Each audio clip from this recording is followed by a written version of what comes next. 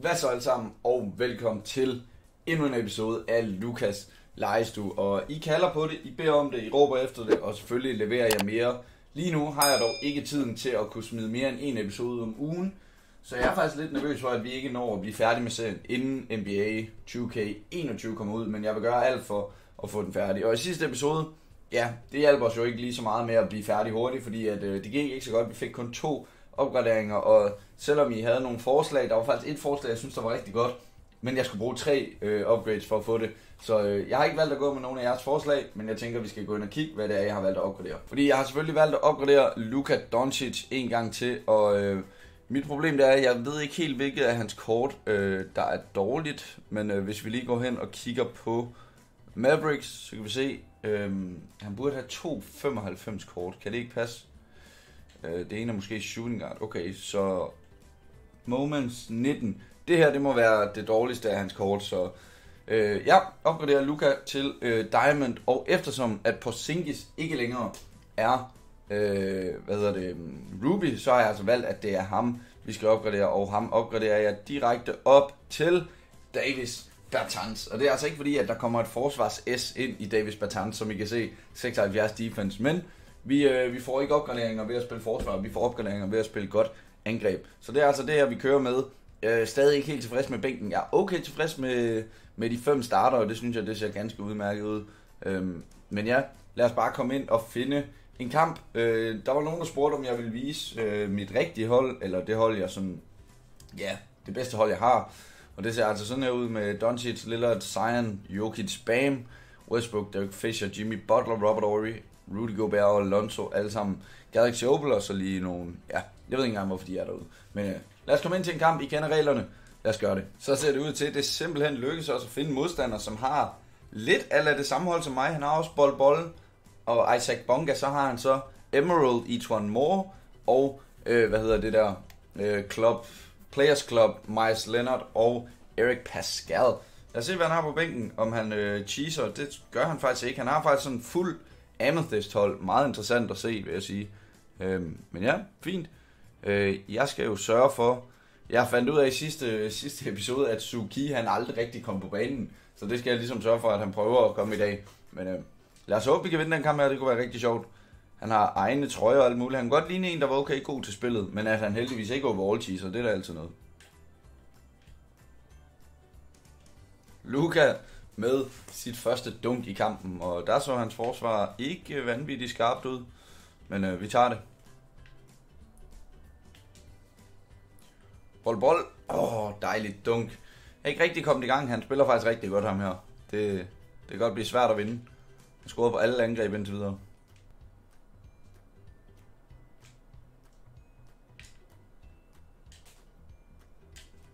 To point Doncic, assist fra Bol Bol, men øh, jeg har stadig virkelig svært ved at komme ind i kampen. Jeg brænder sindssygt mange skud, og han ja, brænder ikke så mange.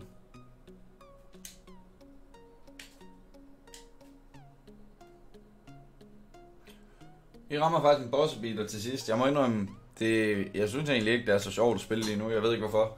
Hvis vi gik ind og kiggede på statsene, så kunne I se, at han laver rigtig mange af de her automatiske steals, hvor han ikke styrer bolden. Og ja, så var det der min første træer, og det hjælper jo selvfølgelig ikke. Men øh, nu prøver vi at få bænken ind. Det kan jo også ende med ikke at være særlig godt. Suki med sit første, sin første to point. Jeg fik ham altså ind den her gang. Det er lækkert. Men jeg tror, min bænk kommer til at komme en lille smule til kort, måske. I ser det allerede her. Jeg kan slet ikke... Øj, det er godt forsvar, men jeg får ikke rebound. Jeg kan ikke få rebounden, når, når modstanderen spiller bedre. Det er... Ja. Altså, det er, det er nærmest umuligt at spille med, med guldspillere mod Amethyst-spillere.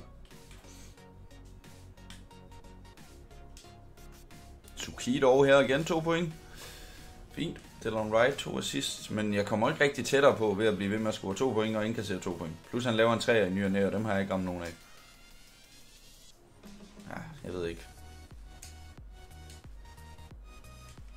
Hej, han bliver blokket. For helvede, Joe Green. Og så er der altså helt åbent ind i feltet. Og herude. Ej, den burde den ikke gå om. Men vi kan ikke... Vi kan jo ikke få nogen rebounds. Åh, hvad står der i rebound-spillet? Jeg er godt nok spændt. Der står 11-3 til modstanderen. Altså, det... Ja, puh.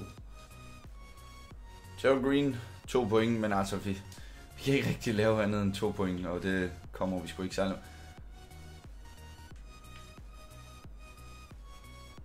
Please, please, vær derude. Han kommer bare forbi, som var det det nemmeste i fucking verden. Så kan han bare stå og trykke firkant. Fuck, hvor det pisser mig af det spil her, mand. Fuck, jeg synes, det er lort.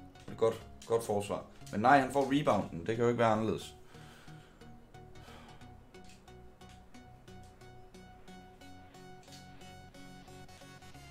En eller anden kom. Cut. Cut for helvede. Ja, vi kan stadig ikke ramme nogen træer. Hvorfor kan jeg ikke lave de der steals? Han kan lave 17 af dem. Han kan lave 17 af dem per kamp. Jeg laver ikke et eneste. Men det er også bare fordi, selv hans shooting guards, han kan sidde og holde, holde analogstikken ned, og hans shooting guards, de øh, forstyrrer stadig min center nok til at kunne blokere ham. Altså, jeg fatter det ikke. Jeg forstår det simpelthen ikke. Bold, bold. Kom nu. 4-3-2 statline. Stadig. Oh,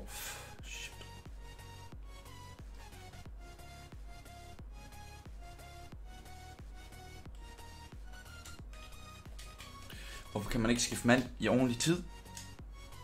Det er voldsomt irriterende. Åh oh, ja. Bagud med 13 ved halvleg. Ja, oh, hvor er det... Hvor er det irriterende. Altså, hvis vi går ind og kigger på nogle stats for kampen. Rebounds. Jeg har så kommet op på 7 rebounds, mens han er kommet op på 15. 5-2 i steals. Og det er jo bare automatiske steals, han laver. Det er ikke rigtig noget, han, han gør noget for. Oh. Ja, og så skyder han jo hvad på træerne. Han skyder 2 for 5, jeg skyder 1 for 6. Jeg kan ikke ramme nogen træer. Uh, ja, vi må se, om der ligger et comeback i os, ellers så bliver det sgu, uh, ellers så bliver det sgu 0 upgrades, fordi der er ikke nogen, der kommer til at lave 25 point, det er helt sikkert. Når jeg ikke engang som hold kan lave 25 point på en halvleg, så ser det skidt ud. Bertans med sine første to point, det, øh, det kunne da godt hjælpe en lille smule for ham ind, tænker jeg. Men han har altså også fået sine starter inden, så... Eller ind igen, og det er jo ikke så godt. Bonga. Kom nu, Bonga. 7 point. Og vi er nede under 10. Og vi får et stil nu. Please se, han ikke er over den. Doncic. Åh, oh, hold nu ferie. Et blok fra Bonga. Det var... Det er det vildeste blok, jeg har set fra en point guard i år. Lad mig sige det sådan. Men til gengæld kan han også lave et automatisk stil. Det var der på tide. Kom nu, bold, bold. Ja, tak. Bold, bold, 3 point. Bold, bold, den skal være der. I tak, bold, bold, 9 point. Hvad er vi nede med? 7. Okay. Please Batans, 2 point. Og jeg synes bare ikke rigtigt, at jeg kommer tættere på, men det kan vi jo se på scoretavlen, at jeg heller ikke gør. Der synes jeg ikke, jeg rigtig kan lave bedre forspil. Hvor, hvor, hvorfor tager han den der? Hvorfor? Hvad har jeg gjort for, at han skulle tage den? Hvis han rammer den der, så bliver... Ja, okay. Så er det, så er det også svært. Det er det sgu. Puh, Han er dygtig ham her, men... Øh, jeg ved, ikke, jeg ved ikke, hvor meget dygtighed det kræver at få bolden, selvom man ikke styrer spillerne hele tiden. Vold. Igen med to point. Hvad med 10 nu. Og vores spiller er pivtrætte. Tak. Så er der fejl. Så er der fucking fejl. Altså, jeg ved simpelthen ikke, hvad man skal gøre. Åh, oh, hvor, bliver, hvor er jeg frustreret over sådan noget pis. Den er bare ikke out of bounds, den der. Det kan jeg simpelthen ikke tage seriøst. Hvorfor er den out of bounds? Ja, jeg ved godt, hvad det betyder, men... Oh, er det fucking vanvittigt. Men i det mindste er det bedre at tabe til sådan en her, der har et overall godt hold, frem for at tabe til en, der har... Jamen, hvad er det så, 10 bronzespillere og så 3 Galaxy Opal-spillere, som man ikke kan gøre en skid med. Så, så er det her bedre, også fordi... Det kan godt være, at han har været heldig med automatiske steals og sådan noget der, men han, han spiller også fint i angrebet, det må man sige. Det er det, der sker, når jeg prøver at lave steals. med, og jeg ved ikke, om det er fordi, at jeg styrer ham selv, at det ikke lykkes. Fordi Altså, I kan se hele den der øh, lille session, den, den, ja, den viser rimelig godt, hvad den her kamp er gået ud på, fordi jeg laver rent faktisk et stil på ham, vil jeg selv sige. Men det ender med en 3 til. Nu får jeg scoret en 3'er. Dejligt. Men hvad fanden hjælper det? Jeg kommer ikke til at få nogen upgrades, jeg kommer ikke til at kunne vinde kampen. Rifle Friends. Boom.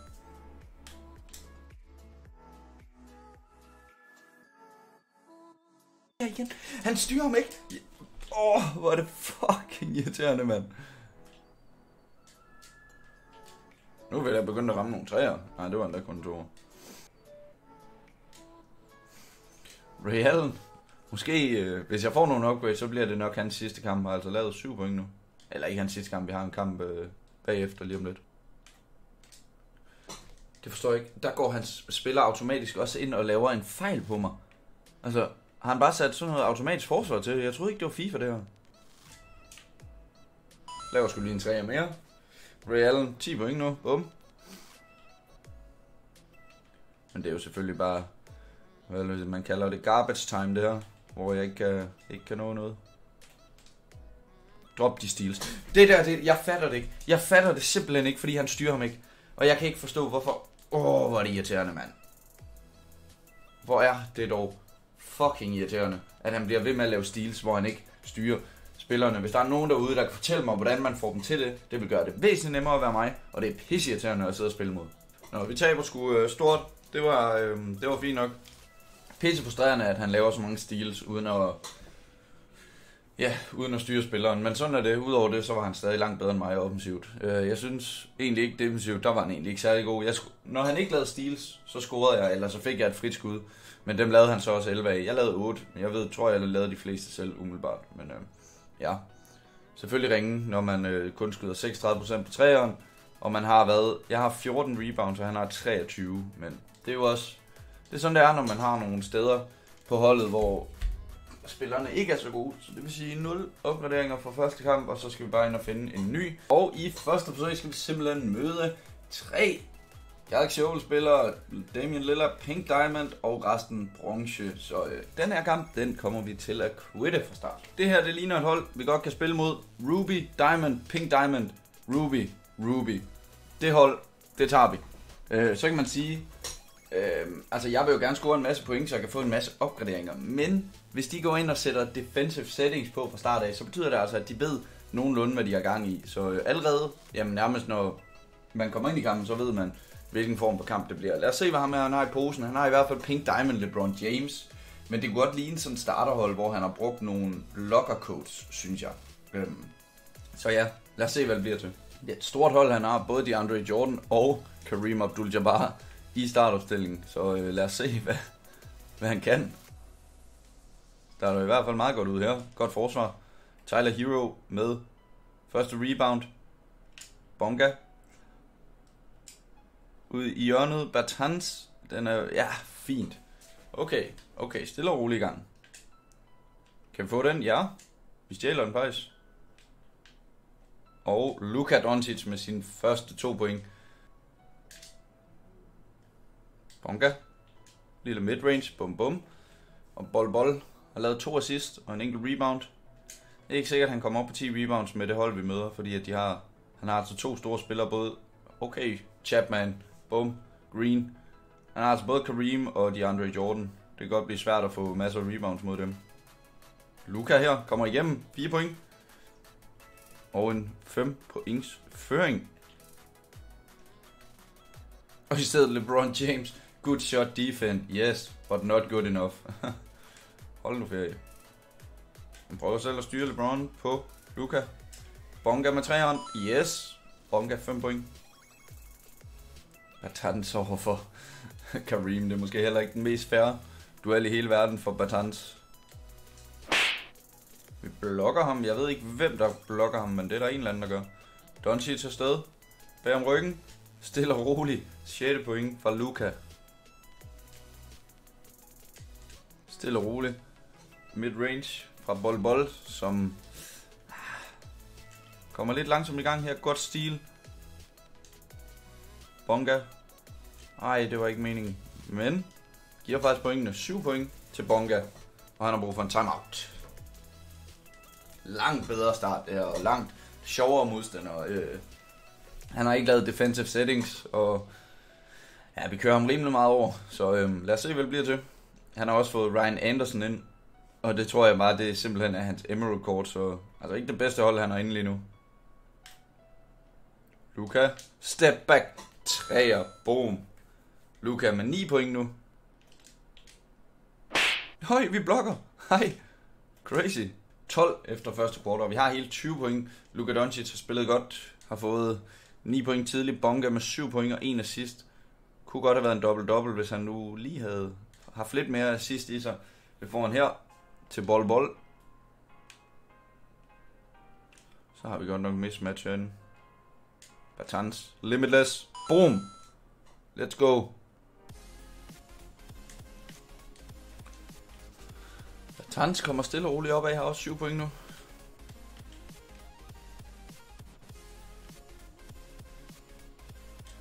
Og Doncic med sin 11. point.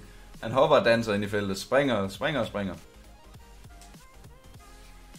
Hans 9. point. Og så tror jeg, det er tid til at få bænken ind her i resten af første halvleg. Han tager en timeout mere. Og vi ser, hvad vi har fra bænken af. La Friends, Suki, DeLon Wright. Så øh, Ray Allen går amok bag træeren sidste kamp. Og jeg ved ikke rigtig, hvem jeg skal gå med. Det bliver Gerald Green. Uh! Hang time. Suki, godt forsvar. To rebounds nu. Ud til Joe Green. Det bliver en toer. Og den bliver ramt. Suki, to rebounds og en assist. Ja, og Joe Green, 4 point. Det kan være, at vi bare skal gå efter prøve at score med ham. Nå, ja, så går han sådan en fejl. Det var lumt. Endnu en timeout fra modstander. Han er også bagud med 20. Jeg håber virkelig, at han har lyst til at spille hele kampen, fordi så kan det redde hele første, eller hele første kamp, som var meget frustrerende for mig. Øh, og hvor det selvfølgelig endte med 0 opgraderinger. Hvis vi så kunne få en del herfra. Mere end to. Mere end to på, på at vinde og rage quit. Det vil jeg gerne have. Green. Ja, tak. 8 point. Det kan da godt være, at han skal have lov til at spille lidt mere i anden halvleg.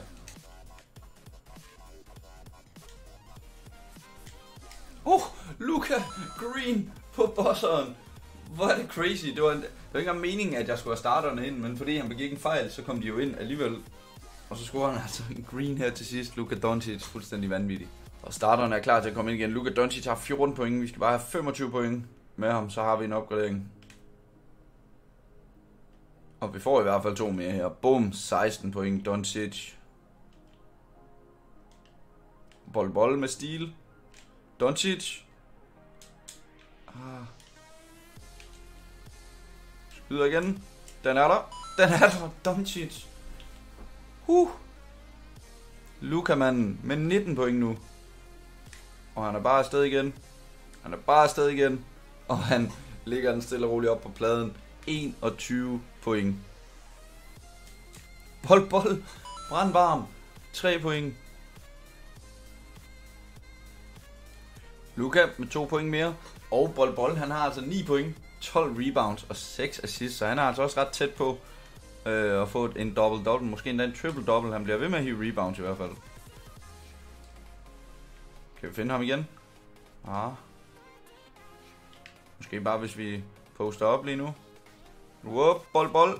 Der har vi dagens første opgradering. Fornøjelse. 11 point og 13 rebounds. Og Luka Doncic, han er altså 2 point fra at få den opgradering også. Jeg ved ikke, hvorfor jeg bliver ved med at lave de der dumme fejl. Det, det spilder bare tid. Kan vi få opgradering her, Luka? Boom! 25 point. Luka Doncic har også en opgradering i sig. Altså, Bonga ligger altså også og skal bruge, hvad, 5 assist og 3 point, tror jeg, for at få en upgrade.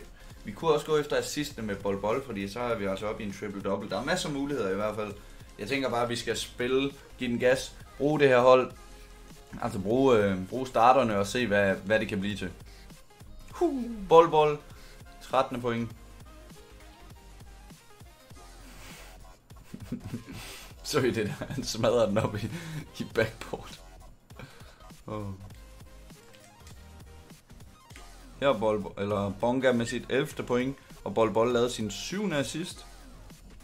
Tyler Hero med sin første point i kampen, og Bonga med sin 8. assist. Kan vi nå at få to assist mere med ham? Hero med assisten til Bonga, det skulle have været omvendt. Det ender altså ikke med, at vi får flere opgraderinger, tror jeg. Til gengæld så viser Bonga, hvor god han er til at skyde træer.